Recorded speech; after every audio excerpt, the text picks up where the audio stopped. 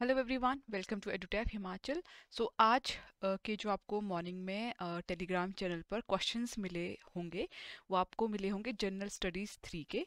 और ये जो क्वेश्चंस थे ये आपके थे हिमाचल जीके से रिलेटेड इसमें आपको टूरिज़्म से रिलेटेड फोर क्वेश्चंस मिले होंगे। आई होप कि आप लोगों ने उनके जो आंसर्स है वो लिखे होंगे। और उसी का ही हम डिस्कशन करने वाले हैं। जो आज का फ़र्स्ट क्वेश्चन था वो था types of tourism religious adventure heritage uh, of tourist destination in Himachal Pradesh तो इसके बेस पर जो पहला क्वेश्चन बनाया गया था कि describe religious tourism in the context of the state of Himachal Pradesh ठीक है? तो जो ये हमारा टॉपिक है, ये जी एस थ्री में गिवन है, सब यूनिट थ्री का ये टॉपिक है जी एस थ्री का, ठीक है? तो ये था रिलीजियस टूरिज़्म से रिलेटेड कि हिमाचल के कंटेक्स में आपको इसको लिखना था, ठीक है? तो रिलीजियस जो टूरिज़्म है, देखो, वो हिमाचल की अगर हम बात करते हैं तो हिमाचल को तो बोला ही देवभूमि जाता है, ठीक है? तो इसीलिए ये बहुत इंपॉर्टेंट एक एस्पेक्ट है हिमाचल के पॉइंट ऑफ़ व्यू से। और अगर हमें इसकी डेफिनेशन लिखनी है, ठीक है?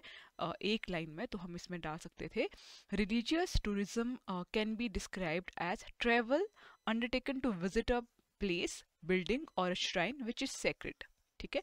तो हिमाचल में ऐसे बहुत सारे प्लेसेस है, बहुत सारी ऐसी श्राइन्स है बिल्डिंग्स है जो कि पूजनीय है, ठीक है?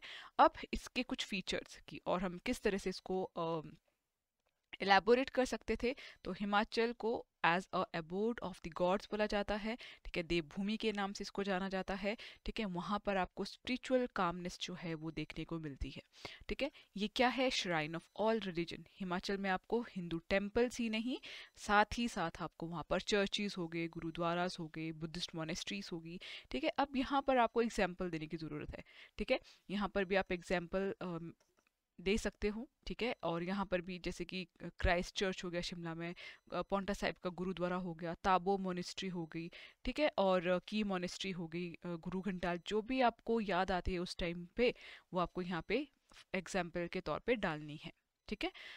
नेक्स्ट जो इसका पॉइंट है, वो है repository of all kind of architecture ठीक है?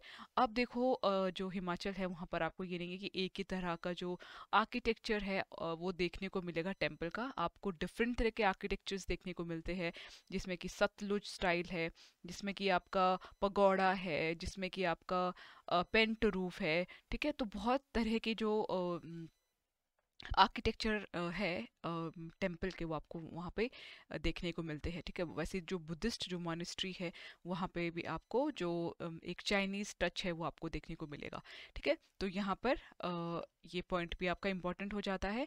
अब ज़रूरी नहीं है कि सारे ही लोग जो भी टूरिस्ट आते हैं वो रिलीजियस ही हो, ठीक है? लेकिन कुछ लोग कैसे आते हैं, जिनको हिस्ट्री में इंटरेस्ट होता है, जिनको आर्किटेक्चर में इंटरेस्ट होता है, जिनको आर्ट में इंटरेस्ट होता है, ठीक है? तो इस तरह के लोग भी विज़िट कर सकते हैं। अगर आ, किसी को नहीं इंटरेस्ट है तो अगर कोई प्लेस रिलीजियस है तो वहाँ का डेफिनेटली जो वहाँ की कुछ हिस्ट्री रही होगी वहाँ का कुछ आर्किटेक्चर डिफरेंट होगा वहाँ का जो थंग यहाँ पे जैसे पेंटिंग्स भी आप डाल सकते हो जो थंग का पेंटिंग्स है उसको भी आप मैंशन कर सकते हो एज एन एग्ज़ाम्पल ठीक है? तो ये क्वेश्चन फोर मार्कर के लिए था आपको सिक्सटी वर्ड्स में इसको लिखना था तो ये कुछ पॉइंट्स है जो कि आप इसमें डाल सकते थे। नेक्स्ट जो टॉपिक था वो था social economic and cultural implication of tourism से रिलेटेड तो uh, इस पर जो क्वेश्चन बनाया गया था वो था list the social and cultural implication of tourism तो आपसे जो पूछा गया था social and cultural implication of tourism ठीक है? तो इसकी अगर हम डेफिनेशन देना चाहेंगे तो जो टूरिज़्म है वो क्या इन्वॉल्व करता है? Movement of people from one place to another and interaction between people of all walk of life and the native people of the area ठीक है? सो so, इसमें देखो कि जो टूरिज़्म है उसमें ऑब्वियस बात है कि जो लोग हैं वो आ, कि कहीं से भी, कि दुनिया के किसी भी कोने से आ सकते हैं, ठीक है? और जहाँ पे भी वो आएँगे, अगर हम हिमाचल की बात करते हैं तो हिमाचल में आएँगे तो लोगों के बीच में इंटरेक्शन होगा, ठीक है? अब उसके जो इम्प्लीकेशन है, वो पॉजिटिव और नेगेटिव दोनों हो सकते हैं, ठीक है? अब अगर हम नेगेटिव सोशियो कल्चर इम्प्लीकेशन की बात करते हैं तो आइडेंटिटी क्राइसिस ठीक है, अब जब लोग आएँगे तो वो किसी और कल्चर से हो सकते हैं, उनका जो ड्रेसिंग सेंस है, उनका जो बोल चाल है, वो डिफरेंट हो सकता है। अब जहाँ पे वो आए, वहाँ के नेटिव जो लोग हैं, उनका जो रहन सहन है ड्रेसिंग सेंस है, या फिर खान पान या फिर लैंग्वेज वो डिफरेंट हो सकती है। तो कुछ लोग क्या होते हैं, जो नेटिव लोग हैं, जो वहाँ पे टूरिस्ट आएगा, वो उससे ज़्यादा इन्फ्लुएंस हो जाता है। और उनकी तरह बनने की कोशिश करता है, जिससे कि कल्चरल लॉस हो जाता है। ठीक है? Reduction of purity of language ठीक है? अब जो कोई लोग बाहर से आते हैं, उनकी लैंग्वेज डिफरेंट होगी। तो जो नेटिव लोग होंगे वो क्या करेंगे? उनको अपने जो बाहर के लोग आएँगे जो उनकी लैंग्वेज होगी उसको अपने लैंग्वेज के साथ मिक्सअप कर देंगे। ठीक है? इरोजन ऑफ़ वैल्यूज़ अब ज़रूरी नहीं है कि सभी लोग अच्छे आएँगे। हो सकता है कि कोई जो है जो कि, किसी की वैल्यूज़ बहुत अच्छी होती है किसी की नहीं नहीं होती है। ठीक है? तो उस तरह के जो लोग हैं जो नेटिव लोग हैं, वो उनको, जिस तरह का वो बिहेवियर उन लोगों का रहेगा, वो अपने में ढालने की कोशिश करते हैं। तो ये कुछ नेगेटिव इम्पैक्ट है टूरिज़्म के, ठीक है, जो कि नेटिव जो पीपल होते हैं जहाँ पे टूरिस्ट आता है, उनके लिए सही नहीं होता है। और पॉजिटिव भी इसके इम्प्लीकेशंस होती है, जो कि है नेशनल इंटीग्रेशन देखो, अगर लोगों का आना जाना होगा तो ज़रूर जो कुछ पॉजिटिव चीज़ें हैं, वो एक दूसरे के साथ इंटरचेंज हो सकती है, जिससे कि नेशनल की जो इंटीग्रेशन है वो बनी रहती है। एडुकेटिव रोल जो टूरिज़्म है, ठीक है, अगर बाहर से कोई लोग आते हैं, वो कहीं रिमोट एरिया में चले जाते हैं तो जो वहाँ के लोग हैं, वो उनसे इंस्पायर होके कि एजुकेशन का कैसा रोल है कि एजुकेशन के जो बेनिफिट्स होते हैं वो वहाँ पे एक्सचेंज कर सकते हैं, ठीक है? नेक्स्ट है better living condition for locals जो भी जहाँ पे टूरिस्ट आएगा डेफिनेटली वहाँ पे जो इकोनॉमिक जो सिचुएशन होगी वहाँ के एरिया की वो भी इम्प्रूव होगी, ठीक है? तो इस तरह से और भी पॉइंट्स हो सकते हैं इसमें, और तो आपको ये मेंशन करना है कि जो सोशल और कल्चरल इम्प्लीकेशन है टूरिज़्म के, वो दोनों है। नेगेटिव भी है और पॉजिटिव भी है। ठीक है? नेक्स्ट जो हमारा टॉपिक था जो क्वेश्चन बना था जिस टॉपिक से, वो है environmental concern of the industry both positive and negative effects including climate change with reference to Himachal Pradesh तो आपको इन्वायरमेंटल कंसर्न को डिस्क्राइब करना था टूरिज़्म इंडस्ट्री से रिलेटेड और ये था हमारा हिमाचल प्रदेश ही रिलेटेड है ठीक है? तो describe the environmental concern of the tourism industry in Himachal Pradesh. अब जब अब हमें जो डेफिनेशन है देखो हमें आ, कोशिश करनी है कि जो क्वेश्चन पूछा गया है उसके रिगार्डिंग हम अपनी डेफिनेशन को मतलब कि देने की कोशिश करें ठीक है? अब यहाँ पे इन्वायरमेंटल कंसर्न है और, और अगर यहाँ पे जो हमने देखा था वो देखा था सोशल एंड कल्चर इम्प्लीकेशन तो यहाँ पे जो डेफिनेशन बन सकती थी वो क्या था कि जो लोगों का जो मूवमेंट होता है, लोगों के बीच में जो इंट्रैक्शन होता है तो हम इस तरह की डेफिनेशन हमने यहाँ पे दी। अब जो नेक्स्ट क्वेश्चन देखो, यहाँ पर आपसे इन्वायरमेंटल कंसर्न से रिलेटेड चीज़ें पूछी है। तो यहाँ पे जो डेफिनेशन देने की कोशिश करी गई है, वो क्या है कि जो टूरिस्ट है, वो brings huge number of people to an area continuously who have diverse attitude toward environment तो यहाँ पे थोड़ा सा डेफिनेशन को अकॉर्डिंग टू क्वेश्चन उसको मॉडिफाई किया गया। ठीक है? तो जो टूरिज़्म है वो क्या करता है? Definitely huge number of people को किसी एक एरिया uh, हो गया किसी एक प्लेस पे वो आते हैं। ठीक है? अब ज़रूरी नहीं है जितने भी लोग आएँगे अब उन सब का जो है वो डिफरेंट एटीट्यूड रहेगा इन्वायरमेंट को लेके। कुछ अच्छा सोचेंगे कुछ नहीं सोचेंगे। ठीक है? तो जो वो कंसर्न है ठीक है? जो इन्वायरमेंटल कंसर्न है अगर हम हिमाचल प्रदेश के पॉइंट ऑफ़ व्यू से देखने की बात कहते हैं तो प्रेशर ऑन नेचुरल रिसोर्सेज ठीक है? अब जो अगर बहुत सारे लोग एक साथ आ जाते हैं तो क्या होता है, जो हमारे नेचुरल रिसोर्सेज है, उस पर डेफिनेटली प्रेशर पड़ जाएगा।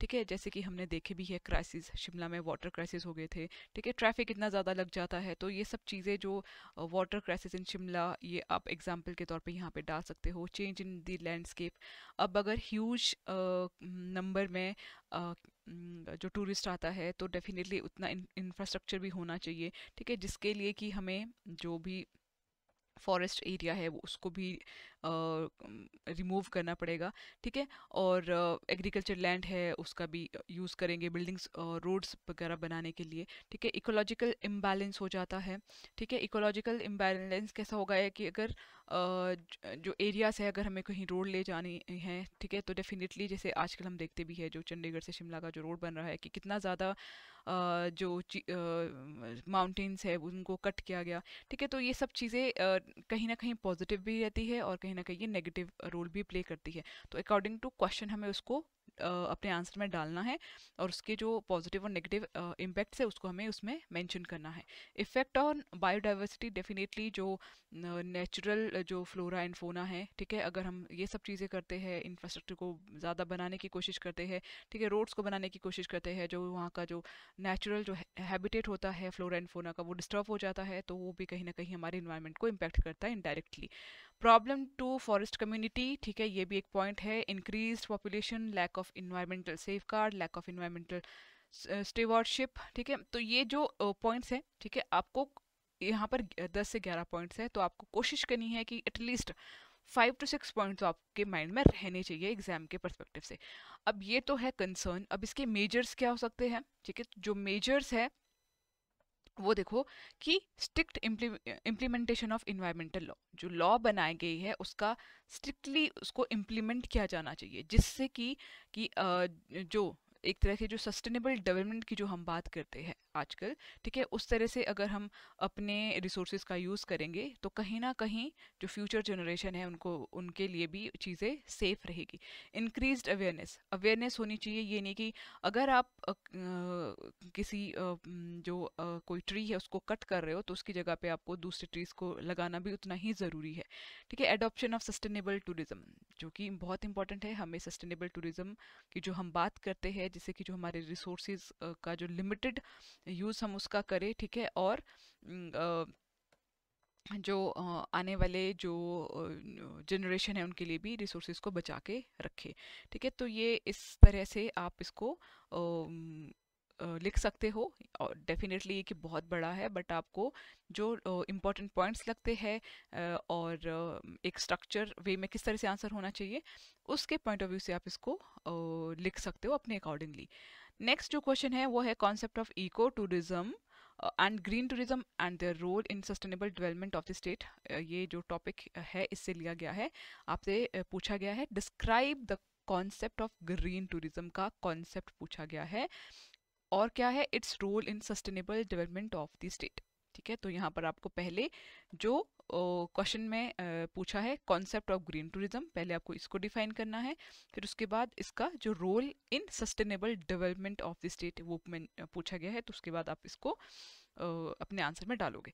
तो ग्रीन टूरिज़्म जो है, ठीक है? जैसे कि समझ आ रहा है कि जो ग्रीन टूरिज़्म है आपका वो करता है स्टैंड स्मॉल स्केल टूरिज़्म, जिसमें कि which involve visiting natural area while minimising environmental impact of travel, including ecological imbalance, loss of biodiversity, landscape changes. अब ग्रीन टूरिज़्म में स्मॉल स्केल टूरिज़्म की ये बात करता है कि इसमें आप जो नेचुरल जो एरियाज़ है नेचुरली जो जो नेचुरल जो एरिया है, वहाँ पर लोग जाएँगे, ठीक है? लेकिन ये स्मॉल स्केल पे जाएँगे, ठीक है? जिसमें से का जो इन्वायरमेंट पे इम्पैक्ट पड़ता है, वो सब बहुत मिनिमम हो, ठीक है? जो इकोलॉजिकल इम्बेलेंस है, वो भी ज़्यादा ना हो, ठीक है? जो बायोडाइवर्सिटी का लॉस है, वो भी ज़्यादा ना हो, ठीक है? तो इस तरह का जो टूरिज़्म है, उसको हम बोलते हैं ग्रीन टूरिज़्म ठीक है? तो ग्रीन टूरिज़्म से हमें क्या है कि अगर ह्यूज लार्ज स्केल पे जो टूरिस्ट आएँगे, वो इस तरह के एरियाज़ में जाएँगे तो डेफिनेटली जो नेचुरल रिसोर्सेज उनका ज़्यादा यूज़ होगा। बट ग्रीन टूरिज़्म में हम क्या बात करते हैं? स्मॉल स्केल टूरिज़्म की बात करते हैं। ठीक है? अब इसमें जो रोल है ग्रीन टूरिज़्म का in sustainable development of Himachal Pradesh तो जो international institute of sustainable development define वो क्या डिफाइन करता है? सस्टेनेबल डेवलपमेंट को कैसे डिफाइन करता है? As the development that meets the need of the present without compromising the ability of future generation to meet their own needs. कि इस तरह के हम इस तरह की हम डेवलपमेंट की बात करते हैं। जो फ्यूचर की जनरेशन है, उनको कॉम्प्रोमाइज़ ना करना पड़े किसी भी रिसोर्स से। ठीक है? अब इसमें तीन डायमेंशन है as per the United nation जो वो तीन डायमेंशन है, वो है इकोनॉमिक सोशल और इन्वायरमेंटल ठीक है तो role of green tourism in sustainable development can be understood as follow so हम इन्हीं तीन जो हमारे डायमेंशन है इकोनॉमिकल हो गया सोशल हो गया और इन्वायरमेंटल हो गया उसी के ऊपर हम बात करेंगे। जैसे इन्वायरमेंटल बेनिफिट हमने ऑलरेडी देखे ऊपर वाले क्वेश्चन में uh, उसी तरह से जो जो सोशल है उसको भी हमने देखने की कोशिश करी थी। Concern and major with respect to green tourism उसको भी uh, इसमें मैंशन किया गया है। ठीक है तो इस तरह से जो आपका क्वेश्चन है वो एक तरह से पूरा हो जाएगा। ठीक है तो ये थे आपके क्वेश्चंस जो कि टूरिज़्म से रिलेटेड थे। और टूरिज़्म में आपको क्या करना है कि हर एक एस्पेक्ट पे अपना आंसर तैयार करना है, क्योंकि क्वेश्चंस तो डेफिनेटली आएगा ही।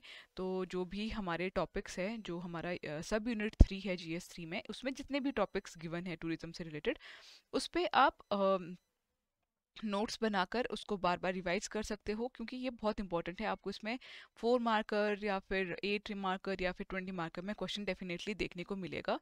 और जो हमारी टेस्ट सीरीज़ है, ठीक है वो भी आप ले सकते हो जहाँ पर आपको मेंस की जो टेस्ट सीरीज़ है वो सेक्शनल और साथ ही साथ जो फुल लेंथ टेस्ट होते हैं वो देख, वो इसमें अवेलेबल है। हिमाचल जी के इसमें सेक्शन है, करंट अफेयर है, मॉडल आंसर्स है, ठीक है प्रीवियस ईयर के जो क्वेश्चन है वो सॉल्व किए गए हैं, ठीक है, लाइव डाउट सेशन है तो ये जो प्राइस है इसका नीचे डिस्क्रिप्शन बॉक्स में गिवन है तो अगर आपको प्रैक्टिस करनी है तो आप जो ये मेंस की जो टेस्ट सीरीज़ है, इसको आप खरीद सकते हो। और मेंस का जो क्रैश कोर्स है, ठीक है, जिसमें कि आपको जनरल स्टडीज़ की जो वीडियोस है हैंड आउट्स है पी वाई क्यूज़ है हिमाचल जी के है जो प्रीवियस ईयर के क्वेश्चंस है, या फिर आप मॉडल आंसर की बात करो, जो भी, ये सब कुछ भी आपको इस क्रैश कोर्स में देखने को मिलेगा। और इसका भी जो प्राइस है, वो नीचे आपको डिस्क्रिप्शन बॉक्स में देखने को मिल जाएगा।